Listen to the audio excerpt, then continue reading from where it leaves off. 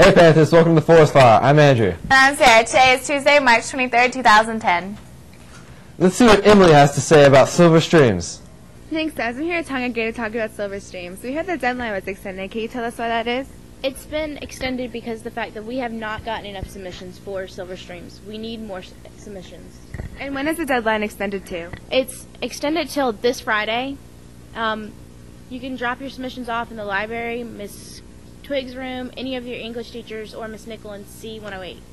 Make sure you get your submissions in. Back to you guys in the studio. Thanks, Emily. Let's check out what's in the inbox.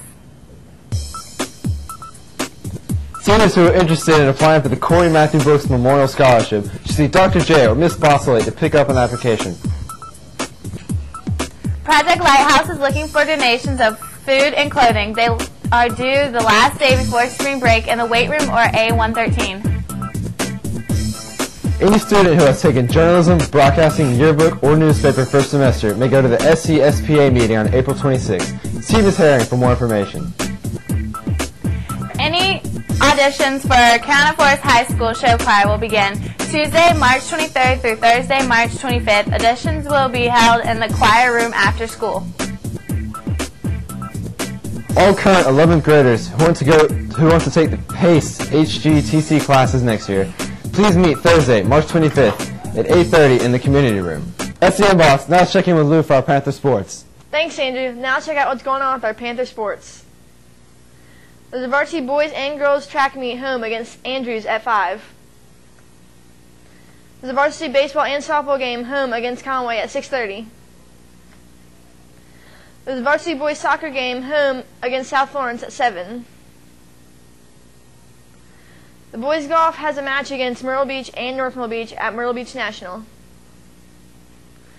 Now we're going to check in with Dawn as she interviews Tim off the track team. Thanks, guys. I'm here with Tim LaFave from the track team. Um, I heard you guys had a meet on Saturday. How'd that go? Uh, we did pretty good. We uh, we improved a lot from last year. Um, a couple of guys got medals. Ricky Kennard actually got, I believe, three medals. He did really good, and overall, it was a good performance from everybody. Who'd you guys um, play against? Uh, well, there were a lot of teams there. I'd say between 17 and 20 teams there, and some big teams were Wando, James Island, a few more, and there were a lot of good teams, and we did all right. When is your guys' next meet? Um, our next meet is tomorrow home.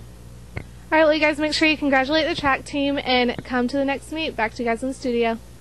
Thanks, Dawn. Now let's go back to Sarah and Andrew for the forecast and lunch. Thanks, Lou. Now let's check out the daily forecast. Today is sunny with a high of 65 and a low of 43. Tomorrow is mostly sunny with a high of 74 and a low of 46.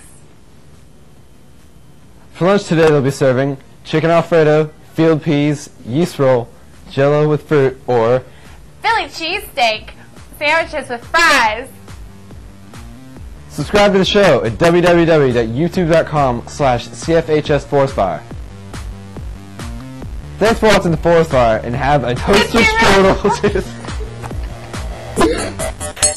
Stop me, I swear